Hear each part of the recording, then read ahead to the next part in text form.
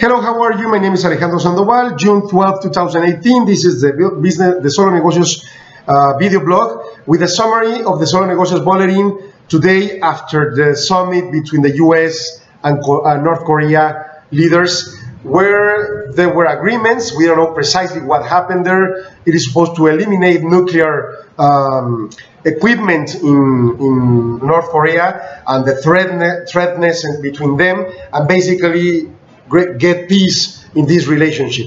But we will talk about how it affected the markets today. We'll have uh, the foreign exchange analysis for the day where the Mexican peso depreciated given the following pressures. Basically, the most important one is the Federal Reserve meeting that took place today and will take place tomorrow.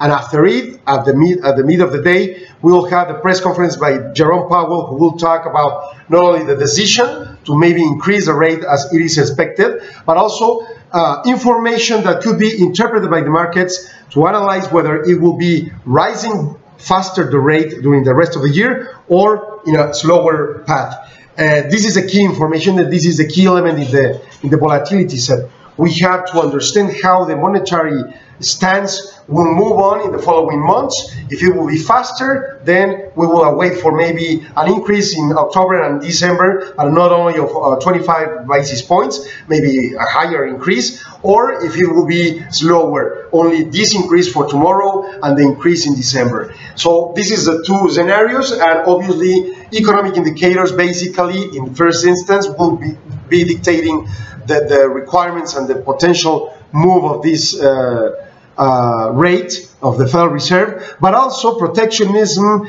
the increase in tariffs and that increases prices not only for the consumer but also the producer will be dictating how fast they will have to respond or react with their Federal Reserve rate. Well, that's regarding the own uh, Federal Reserve issues.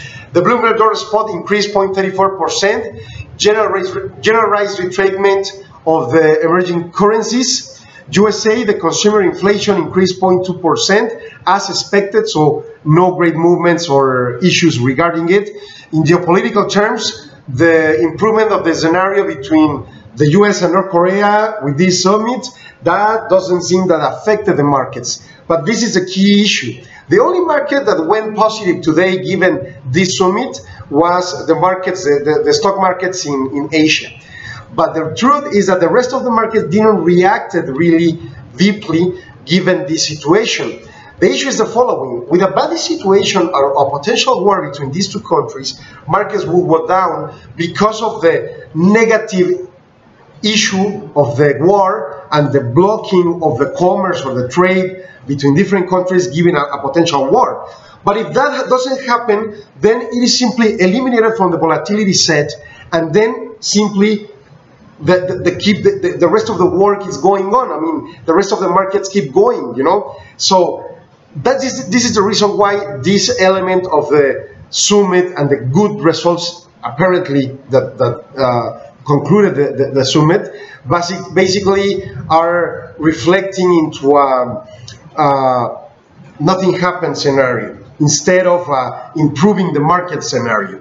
Why? Again, because a negative position of these two countries in geopolitical terms will imply negative issues expected at least for the markets. But a positive position between these two parties is, is not implying there will be a trade agreement or something. It's simply implying there won't be a war. And that's good, but that's it. So basically, that's why the markets didn't react positively in, in, in strong terms given this summit.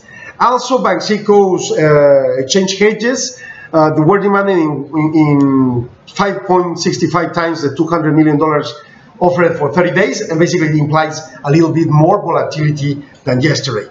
The support is 20 pesos per dollar, the resistance is 20 pesos with 65 cents per dollar in the wholesale market. The spread in the banks is 1.15 cents. It increased 1 cent compared to yesterday. And the futures went up, went up to 0.72% for December uh, 2018. This basically means it's getting worse. The Mexican peso is depreciated and it's affected basically because of the monetary stance, our expectations around it, and then the discussions under NAFTA and the protectionists from the US are the leading parts of this situation. We'll discuss deeply, deeply tomorrow the, the summary of the press conference that will be issued by the Federal Reserve and therefore try to interpret what will be happening in this situation. Thank you very much for your attention and we'll keep in touch.